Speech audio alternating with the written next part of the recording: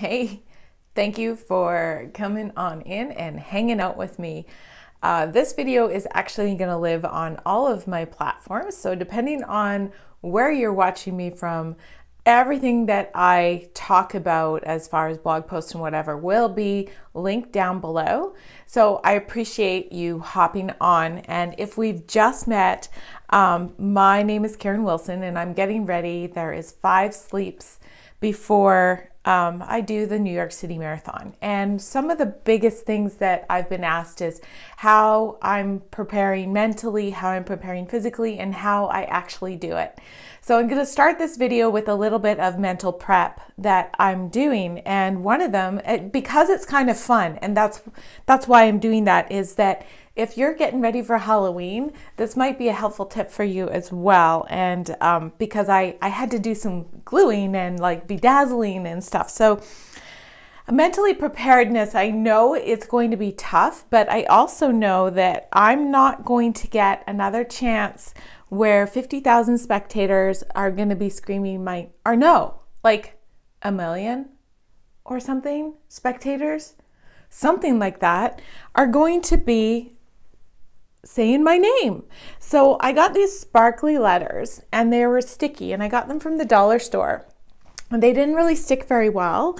Um, so I went through all the process of should I glue or should I, and I forgot about this lovely little thing called Liquistitch. And it's just like glue. It works through humidity, it works through anything. You can put it anything on fabric. I used to use this all the time because I'm only like five one. I used to use it for my pant legs all the time and I totally forgot about this little gem. But one thing you have to be aware of is sometimes it will depending on the fabric, it'll go through on the other side. So if you're doing like hemming or whatever, just be aware that that could come through, but it works. And I kind of dribbled a little bit on and that won't come off. And so, you know, I figure, is it toothpaste? is it? Oh, well, whatever. Anyways, so I got my name. That's a mental preparedness strategy. And I did it in red, shiny letters um, because to symbolize that I'm Canadian and I'm bold and I'm strong. So that brings me on to number two about the mental strategy of doing a full marathon is I always do things that bring me into um, a state of symbolism. So I had to like do my hat as well. And um, my hat has butterflies on it. And my pace that I'm going to be doing, I'm going to be running 88% of the race. And then the other 12% I will be walking. So my run walk ratio is one well, that's one minute for walking, three minutes for running, one minute for walking, three minutes. And so that's what the symbol is there. A butterfly, I've always loved the butterfly for uh, symbolism as, as a thing of renewal. And it's also, um, my dad passed away like 11 years ago. And whenever I see a butterfly, I think of my dad. So this is my little way, I won't get emotional, of bringing my dad on the course with me. And uh, knowing that whenever it's tough, I got my dad with me and he's up there with God and, and, and, you know, like you, just, you just get through. And even symbolism of a marathon, I've, I've done one before. It was actually my six year marathon anniversary yesterday of the last one I did. And I know there's going to be times where there's tough, where it's tough, but again, the symbolism of the butterfly is is every time we rebirth into something that we don't know what's coming on the other side, we become stronger, more brilliant, and free. Really, um, it's also a symbolism of, um, you know, for all my one three one um, uh, pod squad out there, you know who you are.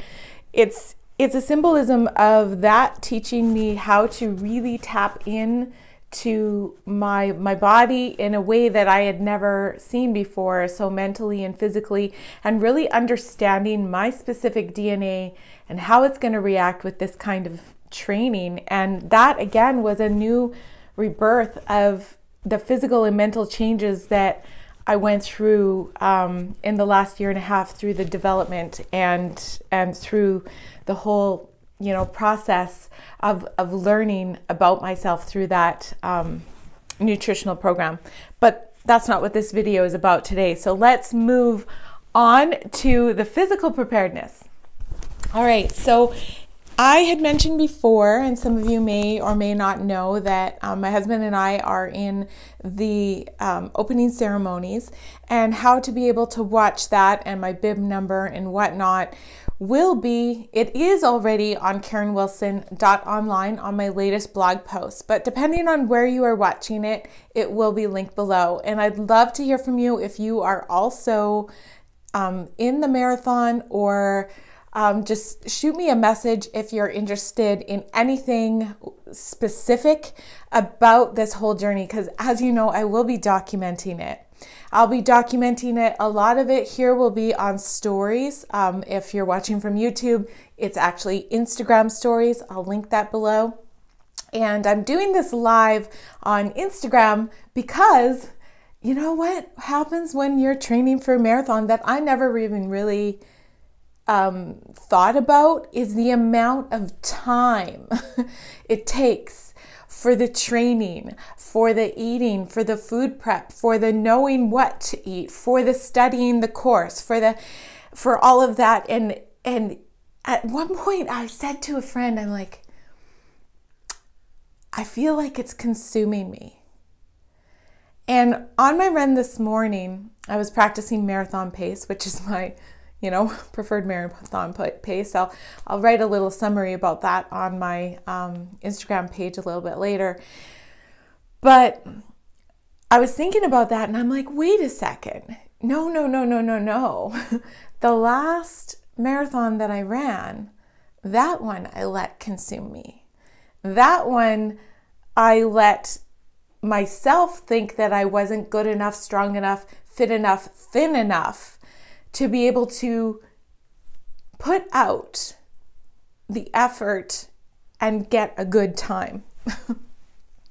and instead of like really embracing what I had done, I became confused as to why, like, I was the only person in the Uberverse that gains 20 pounds when you're training for a marathon. I had no idea about cortisol. I had no idea about dieting and the restrictions that I was putting on my body, which is why I was gaining weight. So this time I did it differently. This time I did it with, with um, a projection of of being kind to myself, body, mind, and soul, and even on, on the heels of an injury, I've learned how to really embrace the fact that I was injured, that I had to take back my expectations on a finishing time.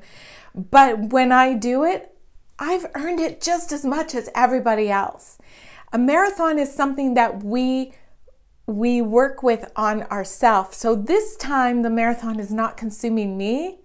I'm consuming it. So I started visualizing, yeah, yeah, I'm like little Pac Man girl going like this, and I'm gonna consume, and I'm gonna, my goal is to be very present and to really capture this, all this surrealness in. Um, another thing we do uh, to prepare, we have done to prepare, is since we're not even going to be in the same time zone. I mean, there's all those kinds of things to think about, right? And so we've been studying the weather, but you just never know what's the weather going to be like. So I've trained in several different um, outfits, I guess you could say. And you know, like like you've seen, I already know exactly what I'm going to wear. Um, and there's a point where we'll be waiting in the village, and it might be raining.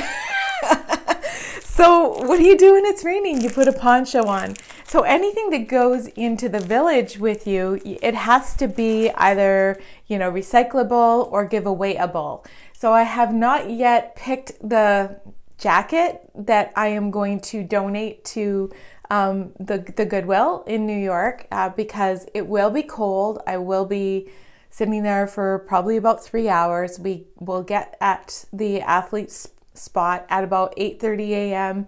and my takeoff is 11 my takeoff. But in in my biological time that's actually my perfect running window.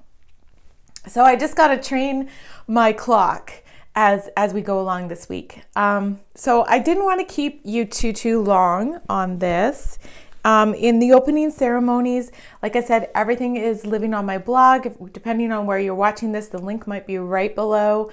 Otherwise, you can find it on karenwilson.online. When I return, um, there are going to be a few little things that are going to be exciting, but I'm I'm not looking there yet. And I appreciate each and every single one of you that have been along for this journey. Can you believe like a year has gone by? A year! Oh, yes. I've also had questions on how exactly I did this and how we got, you know, because you have to qualify to get into the New York City Marathon, and we didn't qualify. We bought a vacation package through Dream Travel. This guy is like flipping amazing. Um, so that's that's how we did it. And the way my husband and I we like to you know, if we're going to run for something as big as a marathon, we like to be able to see new areas. And there's no better way to see a new area than or or to really dive deep into the culture and the neighborhoods and and everything of a city as to run the streets. And you know, like it's and you're running with other people that have done the same type of training. That, that they're people that know how hard it was and they had experienced the same kind of difficulties and they're right beside you experiencing, you know, sometimes the joy, sometimes the tears, sometimes the pain. And so for me, my projected time is um, anywhere between five and a half to six hours. And I embrace that. And when I come through that finish line, I'm going to be just as proud as if I did it in two and a half. And if I did it in two and a half, wow, I will never, ever forget the breakfast I had to be able to output that. That's it. That's all I have today. Um, thank you for being here and thank you for watching this till the end. Please send me a message. Let me know that you are watching or interested and I'll be sure to um, make the stories based on the kinds of things that you want to see because I also don't want to plug up your newsfeed.